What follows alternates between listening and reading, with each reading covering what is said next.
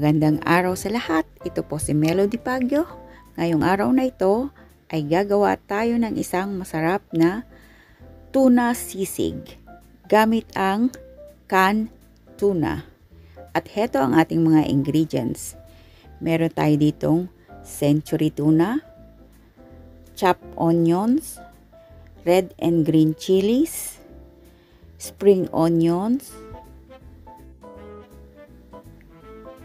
margarine or butter, chicharon chips, lemon, at meron tayo ditong pampalasa ang nor seasoning, pamintang durog, at ang ating mayonnaise. At para sa ating tuna sisig na gagawin ay gumamit ako dito ng tuna flakes in oil. I-drain lang natin yung kanyang sauce o sabaw pigaan lang natin ng konti para hindi siya masyadong masabaw pag atin na siyang ipa-fry. Ganyan. Hindi naman yung sobrang tuyong-tuyo. Dapat meron medyo juicy din siya. And then mag-init tayo ng konting mantika. I-fry muna natin hanggang sa matusta ang ating tuna.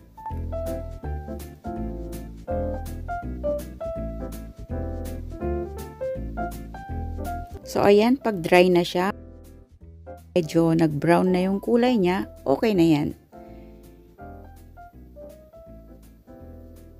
Set aside muna natin siya. Ang next step naman natin ay igisa natin ang ating mga pangsangkap. Meron tayo ditong minced ginger, ang ating minced onions, nagtira tayo para sa ating garnish, ang red and green chili at ilagay na natin ang ating tuna flakes. Halo-haloin lang natin.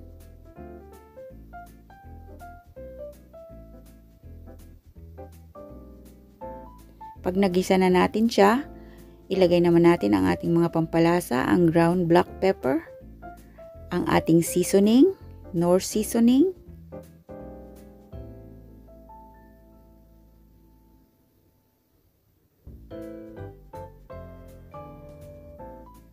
Next, ang ating 2 tablespoon ng mayonnaise. Haluin lang natin ng konti.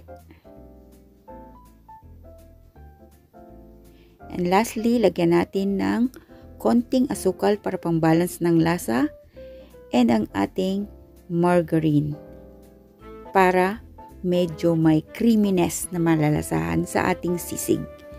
So ayan, ready na ang ating tuna sisig. I-transfer lang natin siya sa isang plate.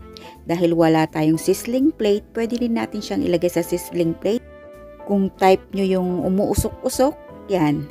And then, i-garnish na ulit natin siya ng fresh chili onions, spring onions, and ang ating chicharon or cracklings. Anything na mag-a-add ng crunchiness sa ating tuna sisig. Ayan, 'di ba? Looks so yummy. Ang sarap na appetizer, pang ulam or pang pulutan. Thank you very much for watching. See you on my next video. Bye. God bless everyone.